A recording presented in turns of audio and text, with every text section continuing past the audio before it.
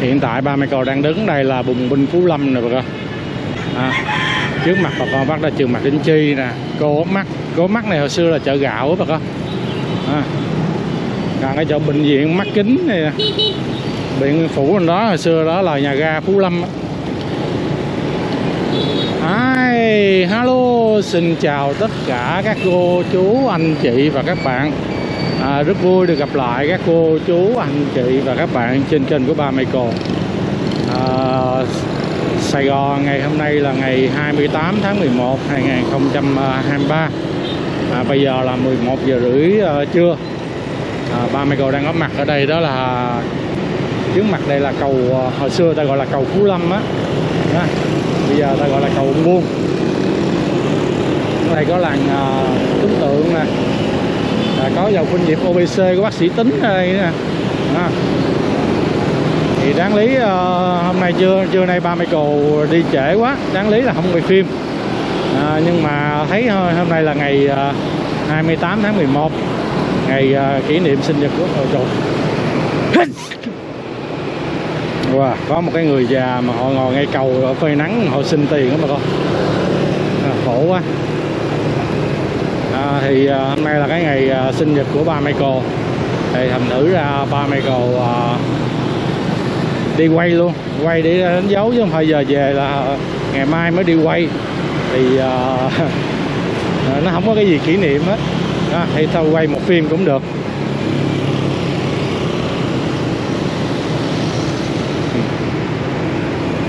Sáng nay thì tại vì ba Michael có mấy uh, ông bạn đó, chơi trong nhóm á, cái ờ, họ tổ chức sinh nhật cho ba mẹ cô. Mình thử ra cái ngồi uống cà phê ngồi nói chuyện trên trời dưới đất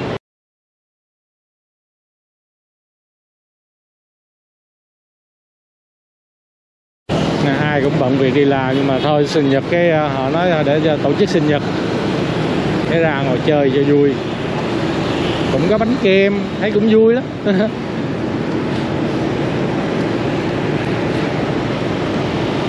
hiện tại à, ba cầu đi tới đây là bùng Minh cây gõ con đường này đường Hồng Bàng ở số 875 rồi mời bà con cô bác uh, lên xe ha. Đây bà con bác làm không đây cái người này chắc đi ăn xin hay đi bán vé số nè. Đẩy thêm một em bé nhỏ. Trời ơi bé đó mà chưa biết đi luôn là bà con cô bác biết là tầm 6 7 tháng rồi.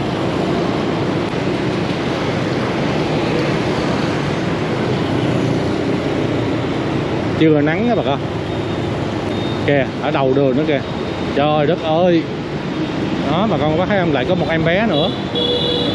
À, lại bán vé số.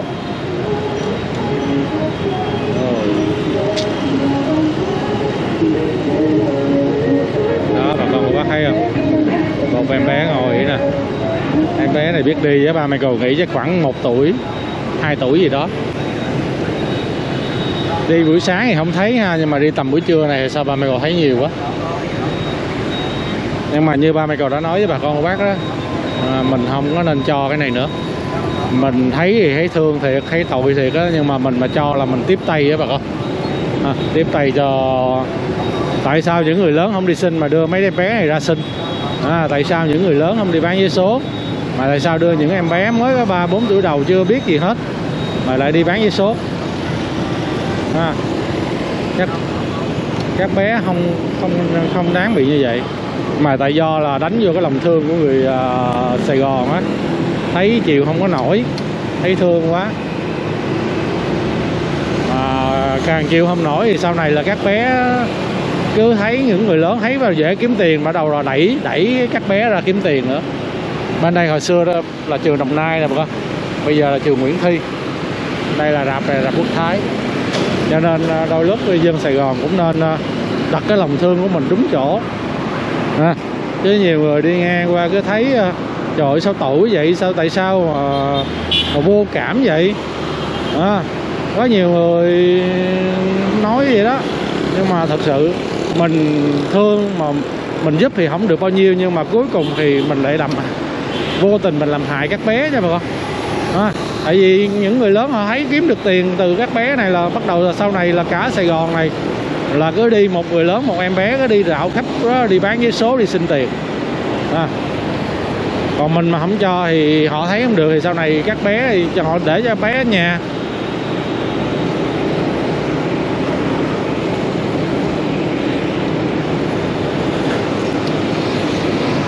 Rồi con đường này là đường bán 2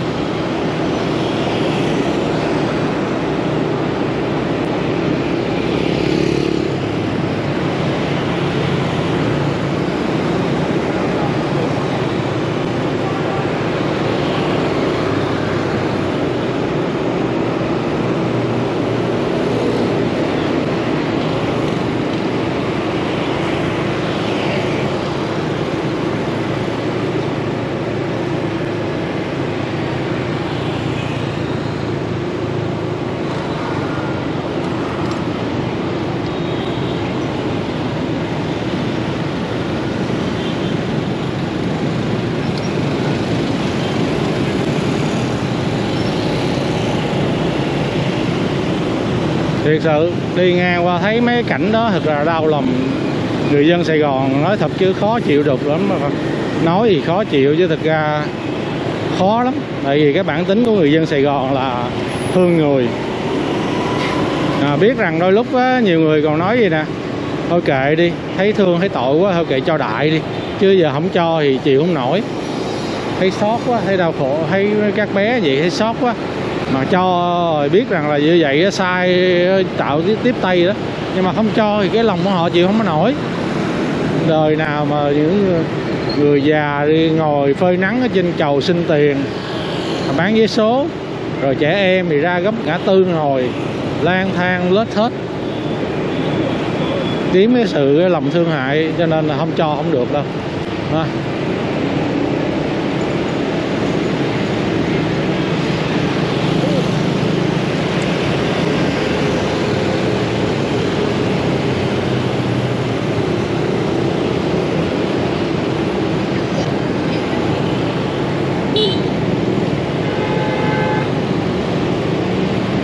nhà hàng Tân Lạc Viên nè.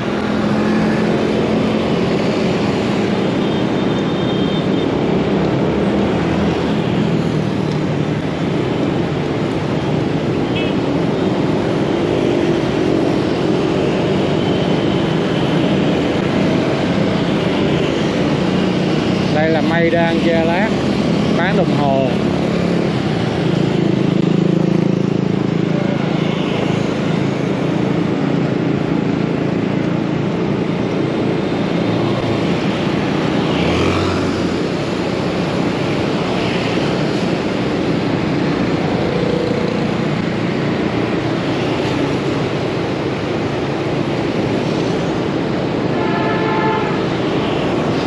Con đường này trước năm 75 là đường Trần Quốc Toản á bà con.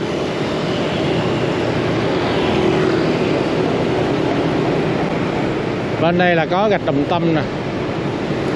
Ông bầu. Ông này ông mê đá banh lắm cho nên người ta đặt ông biệt danh là ông bầu.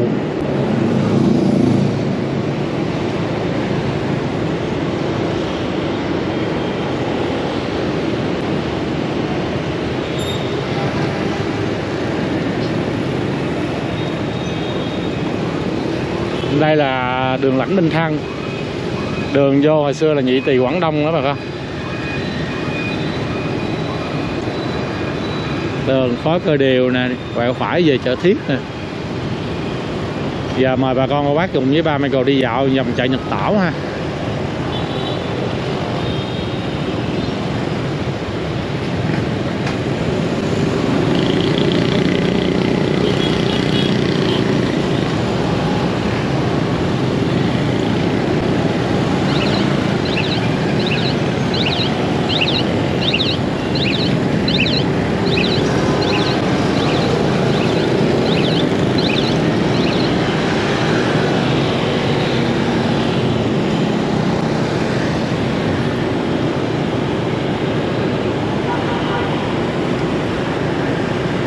Bên đây là hồi xưa là trường đua Phú Thọ. Mà trường đua Phú Thọ bây giờ nó teo tóp lại rồi.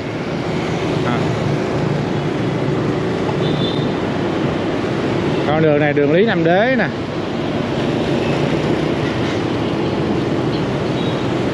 Nay mình sẽ đi dạo vòng khu chợ trời Nhật Tảo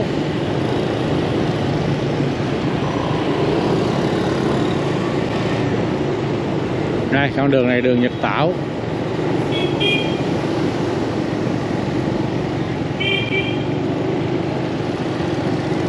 à, đây là đây là bán đồ điện tử nha bà con.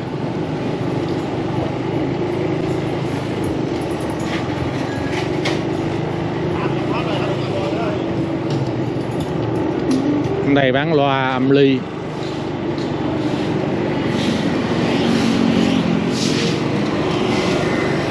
À có đây có bán mấy cái remote máy lạnh nè. Lát nữa ba coi sẽ mua một cái.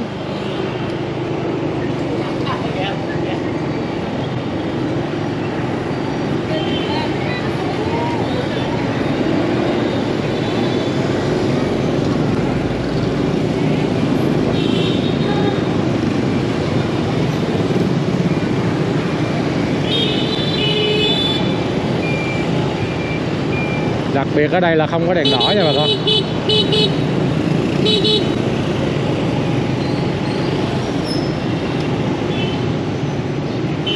À, đây bán remote quá trời nè. À.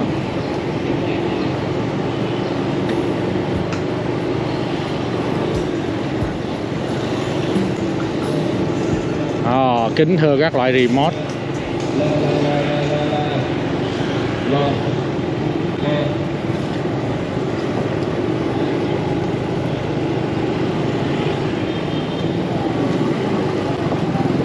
Lát nữa ba Michael sẽ lại cái gái bông đỏ ba Michael mua.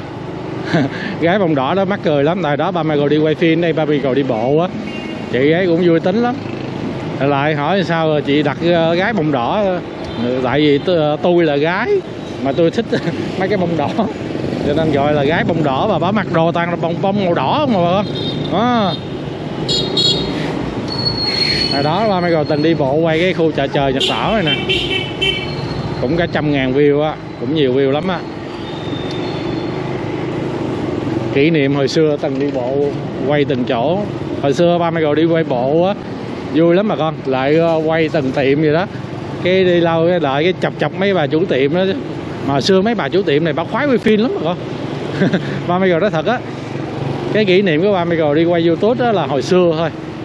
Cái thời mà năm 2017 á, vui lắm. người nào cũng dễ thương á. Mấy cái tiệm mà bán hàng này nè mà bà con bác là loại cầm máy cái ta, ta say hai với bà con bác liền. Ai cũng cười giỡn vui vẻ lắm. Còn giờ thôi không dám đâu. Quay phim lại ta chửi thấy mẹ luôn á. Cái thời đó mà được được đưa lên youtube là ai cũng khoái á à, đặc biệt là đó ba Michael hưởng cái câu ờ, châm ngôn cái bà con bác biết cái câu châm ngôn của ba Michael là gì biết không? À, tại có mấy ờ, cô chú ở nước ngoài á, họ muốn xem mấy cảnh Sài Gòn bây giờ á cho nên tụi con đi quay phim. À, thế là tụi em đi quay phim cho các các cô chú anh chị ở bạn ở nước ngoài á, họ không về Sài Gòn được họ coi á. Trời ơi ai nghe được vậy cũng khoái lắm. À, rồi vô bắt đầu chia sẻ này nọ rồi hướng dẫn là remote này rồi tôi sao nó trời ơi cảm xúc hồi xưa thật là tuyệt vời luôn á. Còn giờ thôi không dám. Giờ mà họ nghe ú cái thằng làm youtube ừ, hàng này hàng kia cầm máy lại quay họ cái nó chửi thấy mẹ luôn nó đuổi mình đi luôn. thời đó thời đi bộ cũng đi tầm giờ này luôn nè bà con. Hồi đó ba Michael đi quay tầm 11 rưỡi 12 giờ trưa vậy nè. À, nhưng mà đi bộ giả sử chạy tới đây ha cái mình gửi xe à, gửi xe xong cái mình đi bộ dạo vòng vòng vòng. Khu này đồ ăn nè.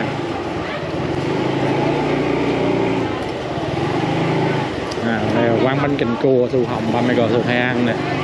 Hồi xưa mà ăn cái quán nào là xin thưa bà con bác không phải vô ngồi làm khách đâu nha bà con. À, vui lắm. Vô cái uh, phỏng vấn cái chủ rồi quay từng cái tô cách họ bút bánh canh ra làm sao rồi quay cái nồi bánh canh nó có cái gì. Thậm chí họ còn vui vẻ họ đảo cái nồi bánh canh lên cho mình coi coi trong đó bánh canh có cái gì. À, vui lắm.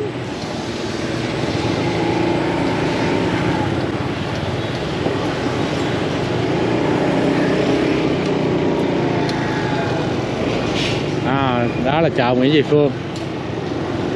Con đường này đường bà Hàng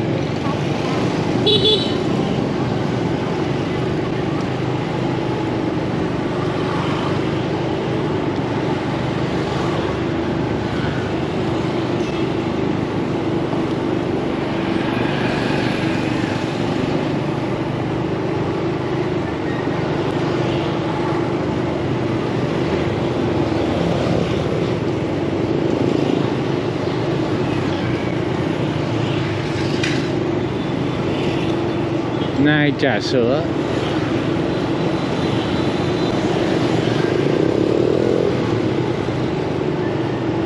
Đường này đường Nguyễn Tiểu La này,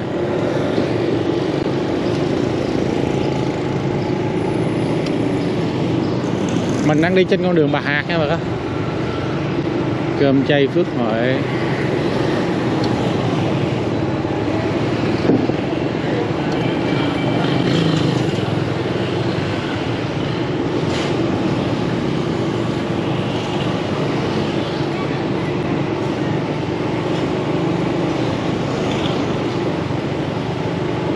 Trời ơi Cái quán cà phê cô Hồng này chẳng lẽ bán cả ngày luôn trời? Hình như là bán cà phê nguyên ngày luôn á.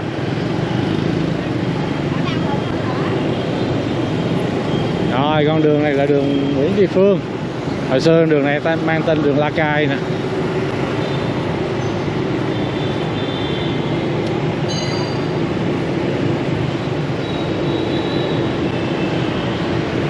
Bên kia là chợ Nhật Tảo, hồi xưa là chợ Gia Bà Bầu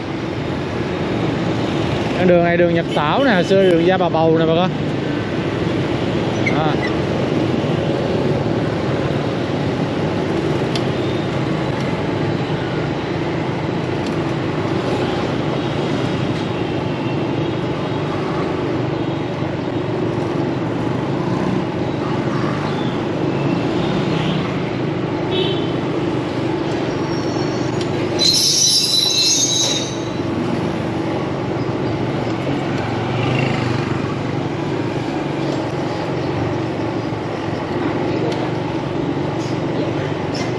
À, chúng ta đang đi trên con đường Gia Bà Bầu năm xưa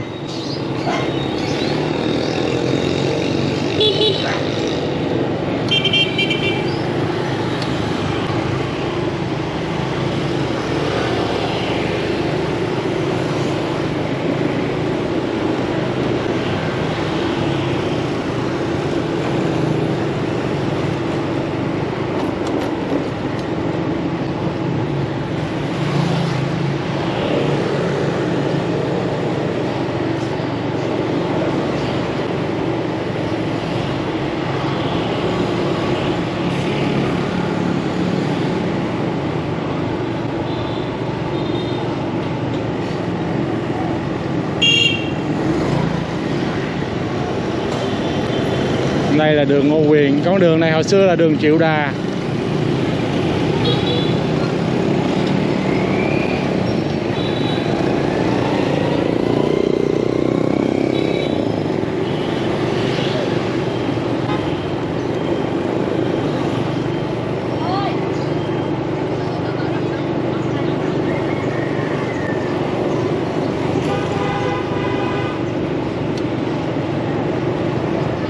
à mình ra là cái con đường cũ nãy mình đi Nhật Tảo nè.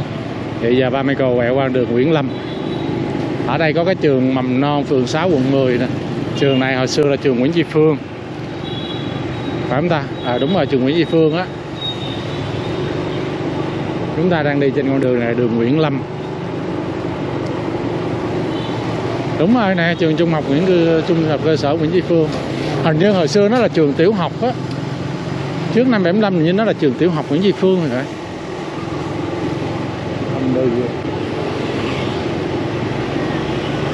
liên đoàn bia. Ồ, ở đây có một cái trường dạy đánh bia nè bà con.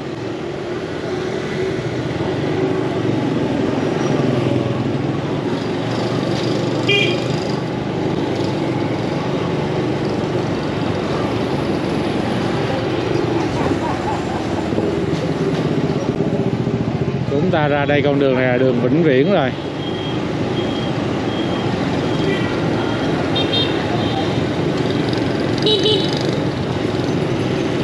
Vĩnh Viễn Nguyễn Kim. Bên đây là cao ốc Nguyễn Kim nè bà con. Chung cư Nguyễn Kim là ở đây nè. Đó, có lô nè lô A lô B.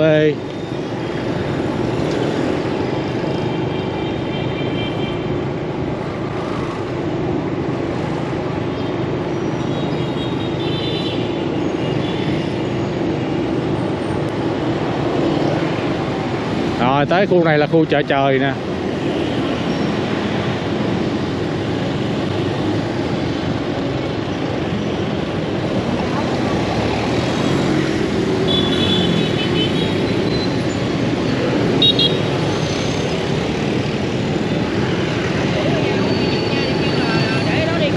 Trời.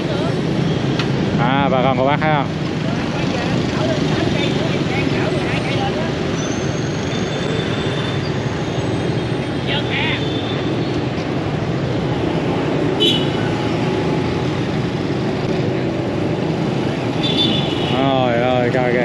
Trời nhật bão này.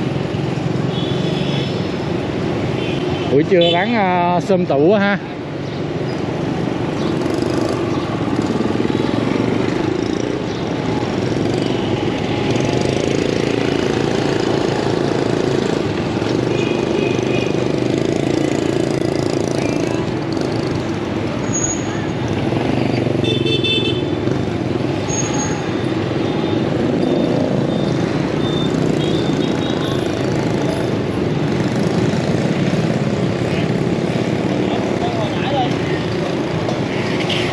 à, kéo ra hình như ba Michael có cảm giác là chợ trời Nhật Tảo này là bắt đầu tầm khoảng 12 giờ trưa là bà con bắt đầu là nó là cái giờ mà người dân người ta hoạt động nè bà con. À, nhiều người bắt đầu người ta mua bán được lắm. Nhưng mà ở đây có cái cảnh tội nè bà con có bác thấy không? Lần trước ba Michael đi quay á ba Michael có nói với bà con một bác á đó bà con bắt nhìn đi. À, bên tay trái nè đó nắng không nè. Đó bà con thấy không? Nắng nôi ghê không? Ôi ơi coi kìa. À thôi, đừng quay đi. Rồi, thấy chưa? Bà con mắt thấy không?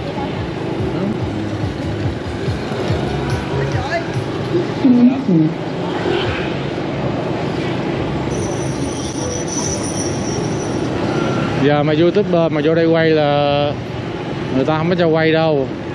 Hả, bà con bác nghe không? Ơi đừng quay đi. Rồi, mình cũng khỏi quay luôn. nhưng mà cái khu này ba Michael thấy là ở đây nó hoạt động nhộn nhịp nè bà con. Tầm khoảng tầm buổi trưa này nè. À. tầm giờ trưa này là hoạt động nhộn nhịp nhất nè.